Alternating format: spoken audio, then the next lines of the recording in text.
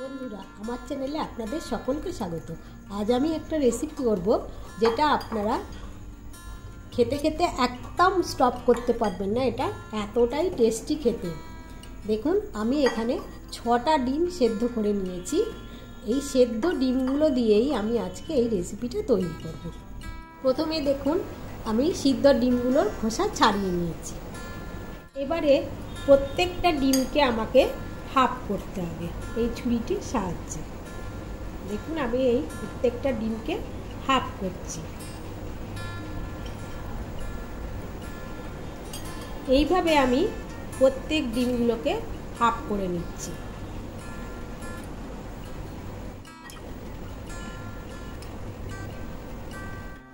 এবারে দেখুন আমি এই আধখানা করা ডিমগুলোকে এই চামচের সাহায্যে এর এই কুসুমটাকে বার করে নিচ্ছি।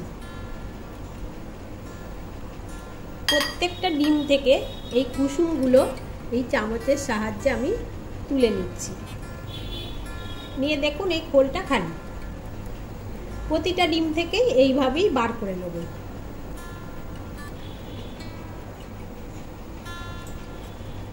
দেখুন, আমার সমস্ত ডিমের কুসুম বার করা হয়ে গেছে। এটাতে রেখেছি আর এইগুলো ডিমের সাদা অংশগুলো যেগুলোর কুসুম আমি বার করে নিয়েছি।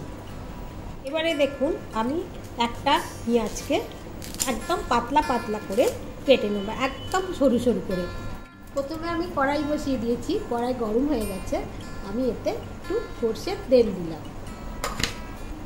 তেল গরম হয়ে গেছে, এবারে দেখুন আমার ওই সরু সরু করে যে পেঁয়াজ কেটে রেখেছিলাম, আমি ঠিক এতে মিডিয়াম সাইজের পেঁয়াজ দেড় খাড়া দিয়েছি, এটা ছেড়ে দিলাম।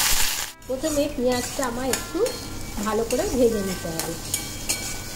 পেঁয়াজটা আমি একটু ভালো করে ভেজে নিচ্ছি। দেখুন, দশ বারোটা রসুনের কোয়া আমি এতে দিলাম। এটা একটু থেতো করে নেব। আমার অল্প ভাজা হয়ে গেছে, এবার আমি এতে এক চামচ রসুন বাটা দিলাম। এবারে আমি এক চামচ দেখুন আদা বাটা দিলাম। দিয়ে এটা ভালো করে একটু কষিয়ে নেড়ে নিতে হবে।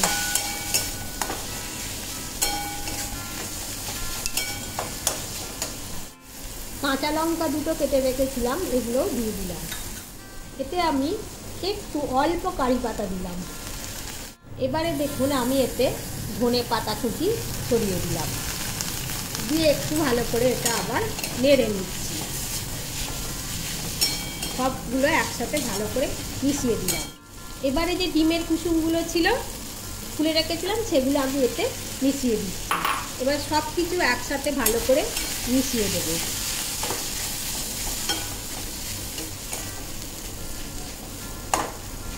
এবারে দেখুন, আমি এতে একটু নুন দিয়ে দিলাম। নুন দেবার পরে এটা ভালো করে মিশিয়ে দিতে হবে একসাথে।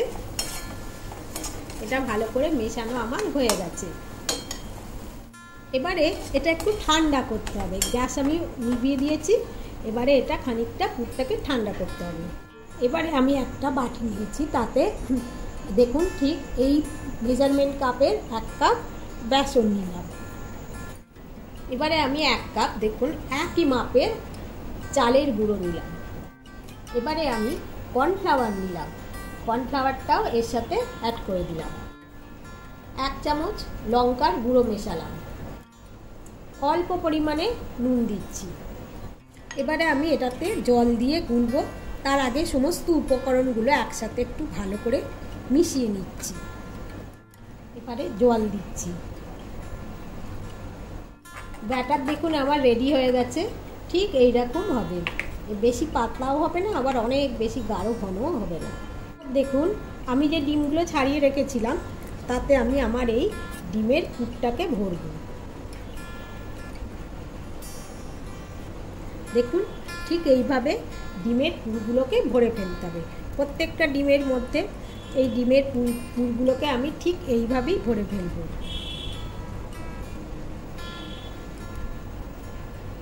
ঠিক এইভাবে ডিমের পুরগুলোকে আমি খোলার মধ্যে ভরে রাখছি। দেখুন, প্রতিটা ডিমের মধ্যে আমার পুর ভরা হয়ে গেছে। এবারে এগুলোকে ফ্রাই করতে হবে। এবারে আমি একটা কড়া বসিয়েছি। কড়া গরম হয়ে গিয়েছে, আমি তাতে একটু সর্ষের তেল ঢেলে দিলাম। আমি এটা সর্ষের তেল দিয়েই ভাজবো। দেখুন, তেল আমার একদম গরম হয়ে গেছে। বেসনের ব্যাটারে আমি এই ডিমগুলো এবারে এই দেখুন, ভালো করে এই ব্যাটারেতে আমি এই ডিমটাকে ডুবিয়ে নিচ্ছি। এবার চামচের সাহায্যে এটা আমি এই কড়ার মধ্যে ছেড়ে দেব। একটা ডিম আমি এই ব্যাটারেতে চোবাচ্ছি। সাথে অনেকগুলো ছাড়বো না, তাহলে ভেঙে যেতে পারে। অল্প অল্প করে সব ভাজবো। এবারে দেখুন, আমি এগুলো একটা একটা করে সব উল্টিয়ে দিচ্ছি।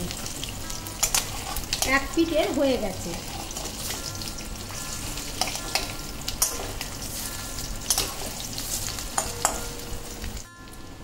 অনেকটাই ভাজা হয়ে গিয়েছে, আর একটু লাল লাল ভাজা হবে বলেই এটা হয়ে যাবে। এগুলোকে আমি একটু উল্টিয়ে দিচ্ছি। এবারে এগুলো একদম হয়ে গেছে, আমি এগুলোকে সব তুলে নিচ্ছি, আর এবারে গ্যাসটাও বন্ধ করে দিচ্ছি।